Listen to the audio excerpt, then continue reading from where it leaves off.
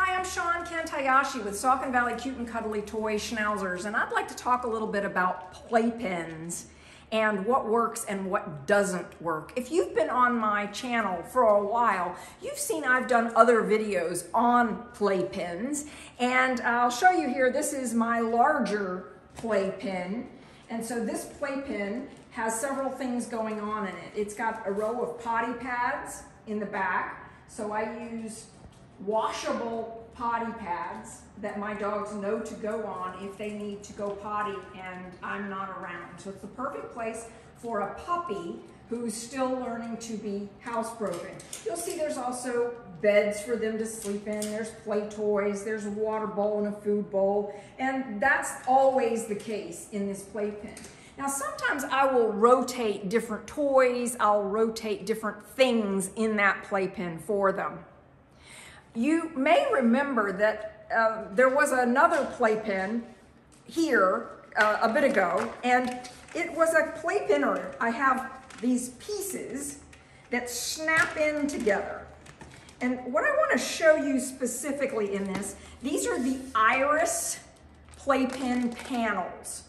So I-R-I-S, Iris Playpen Panels, and you can find them in the Show More section below, but you can also find them on my website. My website is SVCC, that stands for Saucon Valley Cute and Cuddly, svcctoys.com. And I have a favorite products, favorite things page on my website where I go over all my favorite things. But the reason this is so important is you'll find that these iris panels come in two.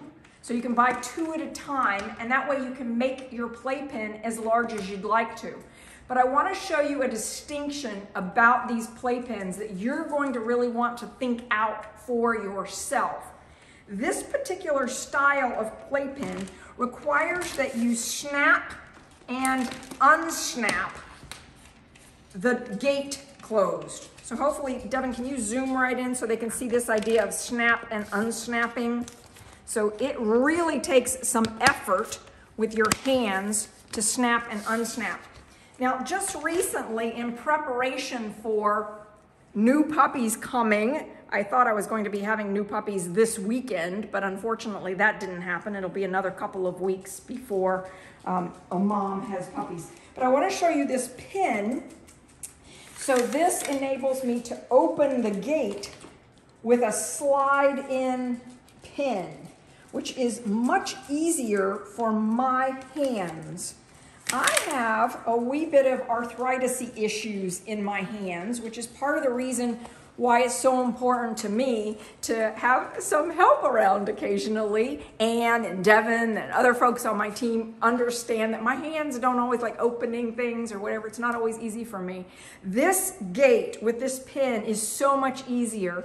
So I decided to replace my snap-on gates. But oh my goodness, I have lots of these snap-on gates.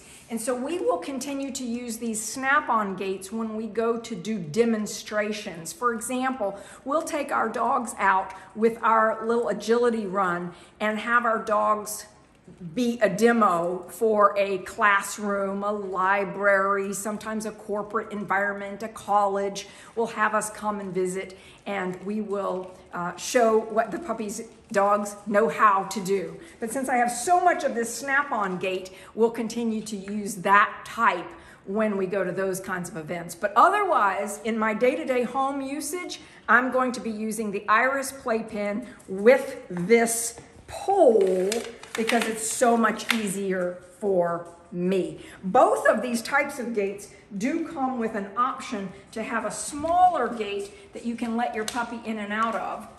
So you just twist like that, and that's really, really simple to use.